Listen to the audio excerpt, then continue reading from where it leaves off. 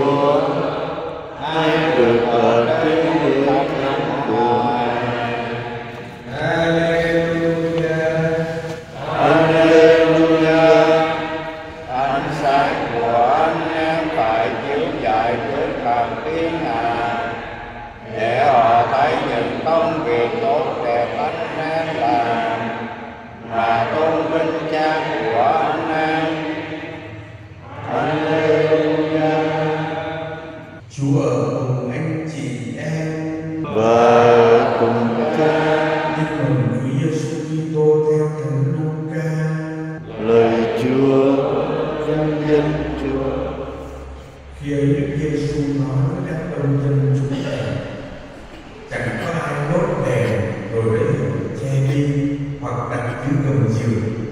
Nhưng đặt trên đế, để những ai đi vào thì nhìn thấy ánh sáng. Vì chẳng có gì bí ẩn mà là không trở nên hiện hiện. Chẳng có gì che giấu mà người ta là không biết và không bị đưa ra ánh sáng vậy hãy để ý đến cách thức anh em nghe. Vì ai đã có thì được cho thêm. Còn ai không có thì ngay cái họ tưởng là có cũng sẽ bị lấy mất.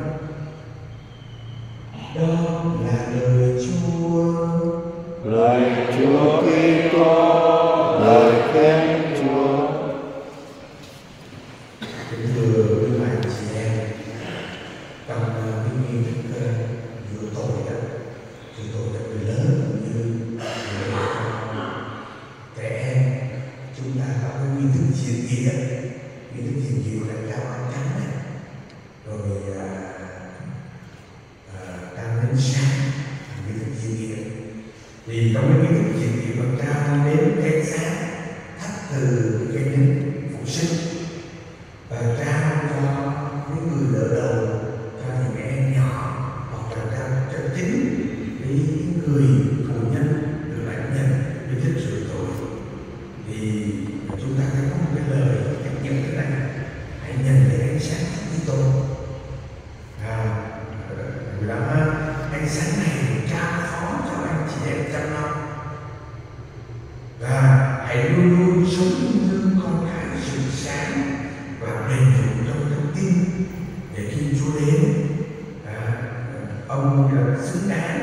ra nghênh đón người với toàn thể các thánh chân trời và và tin ngày hôm nay cũng nhắc cho chúng ta chẳng lẽ đốt đèn với đủ thế nào đã được gì à, ở trên ở ở là dường như được đặt trên đế để những ai đi vào thì nhìn thấy ánh sáng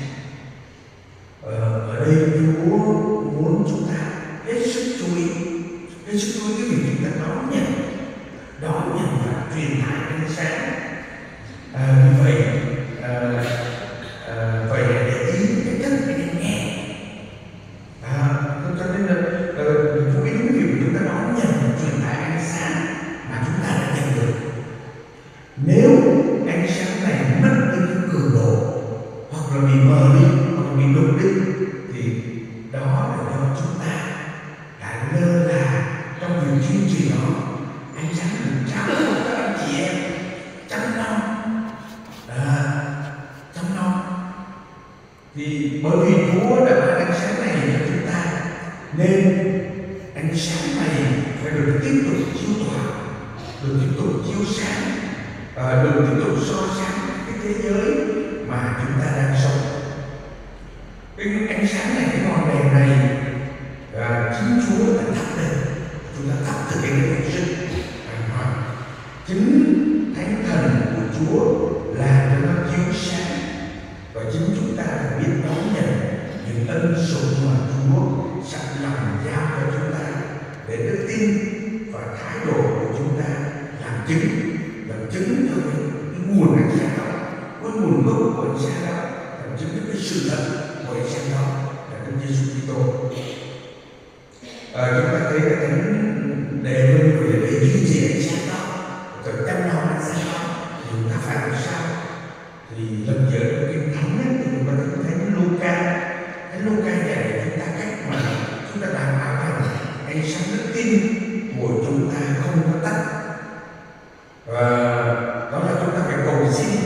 chúng ta phải cầu nguyện và không nản lòng và chúng ta Luca được nói về một cái dụ ngôn với người cái ông quan tòa bất chính và cái bà mà, mà đáng thương đến cuối đời đến thầy mãi ông ta cho tôi và anh Luca kết luận là phải cầu cầu nguyện không ngừng phải cầu nguyện luôn à, đừng có nản lòng ở chúng ta còn còn phải cầu xin và nhân danh Chúa nữa và cho để cho chúng ta được lại nhận nhân danh Chúa điều đó à, trong Gioan đã nói điều đó thật để bảo thật anh em anh em mà xin Chúa cha điều gì thì người sẽ ban cho anh em nhân danh thầy xin đi. Anh em sẽ được cái niềm vui của anh em bên trọn vẹn. Và cũng vậy à, nhờ đó chúng ta thấy Chúa sẽ sẽ sẽ không đặt đèn của chúng ta ở trên cái cổng trường. À, ánh đèn của chúng ta sẽ được chiếu sáng cho mọi người chung quanh chúng ta. Anh chị em thân mến sứ mạng mang lại ánh sáng cho thế giới thì là đẹp đẽ biết bao. Và đây cũng là sứ mạng của chúng ta. Và vì gìn giữ ánh sáng mà chúng ta đã nhận được từ Chúa Giêsu việc bảo vệ ánh sáng gìn giữ nó thì cũng là rất là đẹp. Khi tôi hữu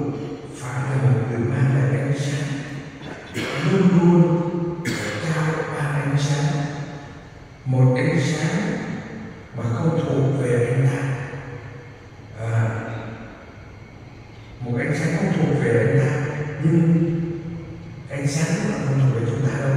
Nhưng đó là món quà mà Thiên Chúa, đó là món quà mà Chúa Giêsu đang tặng cho chúng ta. Và chúng ta mang theo ánh sáng này.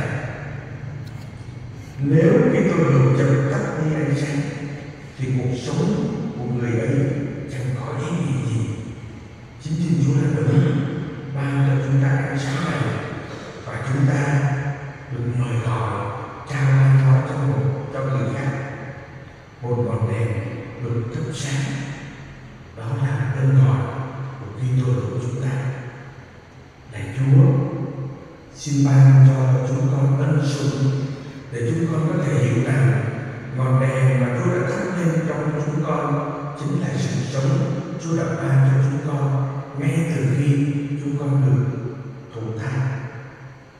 Một khi ngọn đèn này được thắp lên thì nó đã được cha mẹ, gia đình của chúng con duy trì cho chúng con. Và hôm nay cái ân sủng này chiếu phải chiếu sáng này phải mang lại cho chúng con và để cho vinh quang của Chúa được hiện diện được chỉ đến nơi những người chúng con gặp xin dạy chúng con, làm chứng cho Chúa. Trong một thế giới hầu như không quan tâm đến sự vinh cự